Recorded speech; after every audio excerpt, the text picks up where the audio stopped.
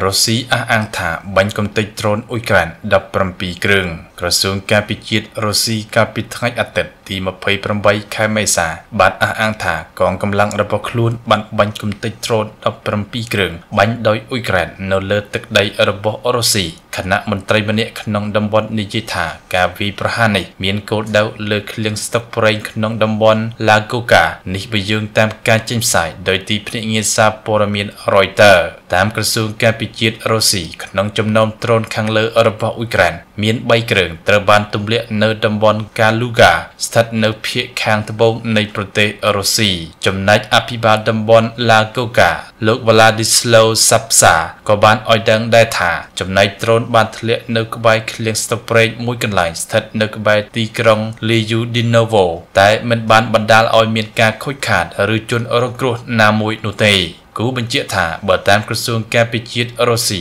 ដ្រូន9គ្រឿងផ្សេងទៀតបាញ់ដោយអ៊ុយក្រែនក៏ត្រូវបានបំផ្លាញផងដែរនៅក្នុងតំបន់ Bryan 3គ្រឿងនៅតំបន់ Kos និង2គ្រឿងផ្សេងទៀតនៅតំបន់ Belgorod ក្រុមមន្ត្រីអ៊ុយក្រែនធ្លាប់បាននិយាយថាការវាយប្រហារលើយោធារុស្ស៊ីធម្មពលនិងហេដ្ឋារចនាសម្ព័ន្ធដឹកជញ្ជូនគឺជាគោលដៅបំផ្លាញកិច្ចខិតខំប្រឹងប្រែងសង្គ្រាមរបស់រុស្ស៊ីប្រតិមិត្តជាទីមេត្រីលោក Biden និងលោក Netanyahu ជជែកគ្នាជាថ្មីពីកិច្ចព្រមព្រៀងដោះលែងចំណាប់ខ្មាំង ក្នុងកិច្ចពិភាក្សាតាមទូរស័ព្ទប្រធានាធិបតីអាមេរិកលោក Joe Biden បានបើកកិច្ចពិភាក្សាតាមទូរស័ព្ទជាមួយនាយករដ្ឋមន្ត្រីអ៊ីស្រាអែលលោក Benjamin Netanyahu កាលពីថ្ងៃអាទិត្យទី28ខែមេសានិងបានជជែកគ្នាជាថ្មីពីកិច្ចចរចាស្តីពីការដោះលែងចំណាប់ខ្មាំងដែលត្រូវបានក្រុមហាម៉ាស់ចាប់ខ្លួនអំឡុងការវាយប្រហាររបស់ពួកគេលើអ៊ីស្រាអែលកាលពីថ្ងៃទី7ខែតុលាឆ្នាំមុននេះបើតាមការបញ្ជាក់ពីសេចក្តីវិមាននៅក្នុងសេចក្តីរាយការណ៍មួយដែលត្រូវបានដកស្រង់ចេញផ្សាយដោយទីភ្នាក់ងារសារព័ត៌មាន AFP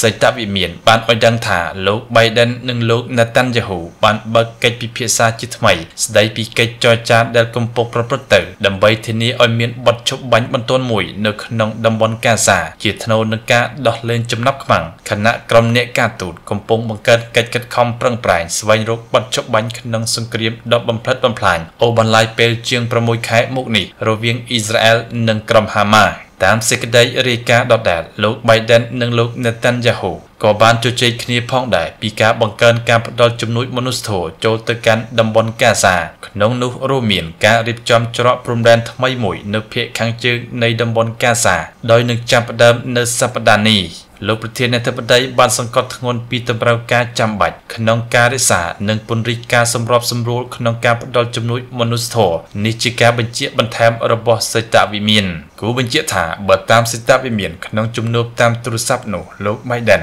បានបញ្ជាក់ឡើងវិញពីជំហររបស់លោកចំពោះផែនការវាយលោកចូលទីក្រុង Rafah ស្ថិតនៅភាគខាងត្បូងនៃតំបន់កាហ្សាជាមួយការបង្ហាញក្តីព្រួយបារម្ភខ្លាំងពីការកើនឡើងចំនួនអ្នកស្លាប់នៅក្នុងចំណោមជនស៊ីវិលនៅតំបន់កាហ្សា លោក Netanyahu បានសន្យាថាកងទ័ពអ៊ីស្រាអែលនឹងវាយលុកតាមជើងគោកចូលទៅក្នុងទីក្រុង Rafah ជាទីដែលប្រជាជនប៉ាឡេស្ទីនជាង1លាននាក់កំពុងជ្រកកោនបើទោះជាមានការទទូចពីអន្តរជាតិកុំឲ្យបើកប្រតិបត្តិការយោធាលើទីក្រុងនេះក៏ដោយប្រជាមិត្តជាទីមេត្រីមន្ត្រីជនខ្ពស់កាតាជំរុញទាំងអ៊ីស្រាអែលនិងក្រុមហាម៉ាស់ឲ្យធ្វើអ្វីបន្ថែមទៀតដើម្បីសម្រេចបាននូវកិច្ចព្រមព្រៀងបទជបាញ់ មន្ត្រីកាតាជនខ្ពស់មួយរូបបានអំពាវនាវទាំងអ៊ីស្រាអែលនិងក្រុមហាម៉ាស់ឲ្យបង្ហាញពីការបដិញ្ញាចិត្តនិងភាពម៉ឺងម៉ាត់បន្ថែមទៀតក្នុងការចរចាបទជបាញ់ដោយសង្កត់ធ្ងន់លើភាពបន្ទាន់ នៃការឈានទៅកិច្ចព្រមព្រៀងមួយដើម្បីធានាការដោះលែងចំណាប់ខ្មាំងអ៊ីស្រាអែលនិងអាចបន្ធូរបន្ថយចំនួនរយៈពេល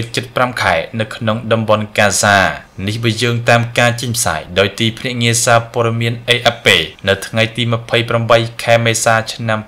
2024ប្រទេសកាតាដែលមានទីស្នាក់ការកណ្ដាលរបស់ក្រុមហាម៉ាស់នៅទីក្រុងឌូហាបានដើរតួនាទីយ៉ាងសំខាន់ជាអ្នកសម្រុះសម្រួលនៅក្នុងអំឡុងពេលជំលោះអ៊ីស្រាអែលនិងក្រុមហាម៉ាស់រួមជាមួយជាមួយសហរដ្ឋអាមេរិកនិងអេស៊ីបកាតាបានដើរតួនាទីយ៉ាងសំខាន់ក្នុងការឈានទៅដល់បទជប់បាញ់បណ្ដោះអាសន្នកាលពីខែវិច្ឆិកាដែលសម្រេចបាននៅការដោះលែងចំណាប់ខ្មាំងជាច្រើនអ្នកផងដែរទោះបីជាមានការចរចាជាច្រើនជុំក៏ដោយក៏គ្មានបទជប់បាញ់បន្ថែមណាមួយត្រូវបានសម្រេចឡើយទាក់ទងទៅនឹងបញ្ហានេះប្រទេសកាតាបានសម្ដែងការខកចិត្តយ៉ាងខ្លាំងដោយការពីសប្តាហ៍មុនបានប្រកាសថាខ្លួនកំពុងពិចារណាឡើងវិញនៅទូនាទីរបស់ខ្លួនជាអ្នកសម្រោះសម្រួលនៅក្នុងបទសម្ភាសន៍មួយអ្នកនាំពាក្យក្រសួងការបរទេសកាតាលោកម៉ាជីតលោកម៉ាជីតអាល់អាន់ហ្សារីបានសម្ដែងការខកចិត្តចំពោះក្រុមហាម៉ាស់និងអ៊ីស្រាអែលដោយនិយាយថាភាគីនីមួយៗធ្វើការសម្រេចចិត្តដោយផ្នែកទៅលើផលប្រយោជន៍នយោបាយនិងមិនមែនជាផលប្រយោជន៍របស់ប្រជាជនស៊ីវិល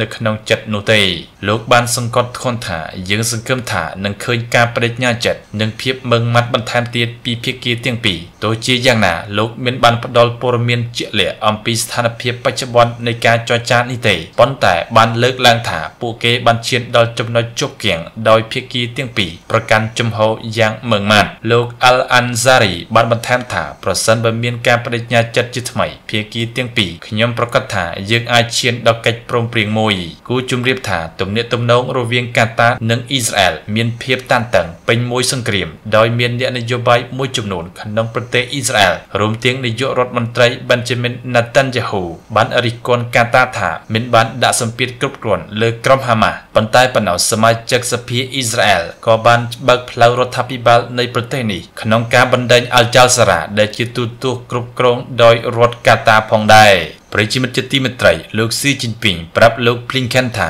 អាមេរិកនិងចិនចាំបាច់ត្រូវធ្វើជាដៃគូនឹងគ្នាមិនមែនគូប្រកួតប្រជែងនោះទេ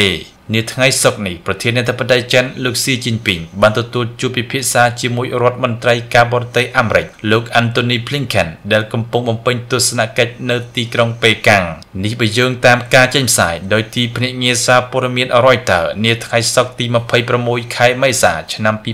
2024នាឱកាសនោះលោកស៊ីបាននិយាយទៅកាន់លោក Blinken ថាប្រទេសទាំងពីរគួរតែធ្វើជាដៃគូជាមួយគ្នាមិនមែនគូប្រជែងឡើយនៅមានបញ្ហាជាច្រើនដែលចាំបាច់ត្រូវដោះស្រាយនិងនៅមានចន្លោះសម្រាប់ភាគីទាំងពីរបង្កើនកិច្ចខិតខំប្រឹងប្រែងបន្ថែមទៀតទន្ទឹមគ្នានេះលោកប្រធានាធិបតីចិនបានបន្តប្រាប់លោកប្រមុខការទូតអាមេរិកថាយើងសង្ឃឹមថាភាគីអាមេរិកនឹងអាចប្រកាន់ទស្សនៈវិជ្ជមានផងដែរចំពោះការអភិវឌ្ឍរបស់ប្រទេសចិន នៅពេលបញ្ហាមូលដ្ឋានមួយនេះអាចត្រូវបានដោះស្រាយបាននោះទំនាក់ទំនងមុខជាអាចទទួលបានស្ថិរភាពហើយប្រសើរជាងមុនព្រមទាំងបោះជំហានទៅមុខយ៉ាងពិតប្រាកដគូបញ្ជាក់ថាមុនជួបលោកស៊ីជីនពីងលោក Blinken ក៏បានបើកកិច្ចពិភាក្សាដែលប្រព្រឹត្តទៅរយៈពេលជាច្រើនមកជាមួយរដ្ឋមន្ត្រីការបរទេសចិនលោកវ៉ាងយីផងដែរនេះគឺជាទស្សនកិច្ចលើកទី2ហើយរបស់លោក Blinken មកកាន់ប្រទេសចិនក្នុងរយៈពេល7ឆ្នាំប្រជាមិត្តជាទីមេត្រីទាក់ទងទៅនឹងព័ត៌មាននេះក៏ត្រូវបានបញ្ចប់តែមុននឹងបញ្ចប់ក៏សូមខន្តីអភ័យទោស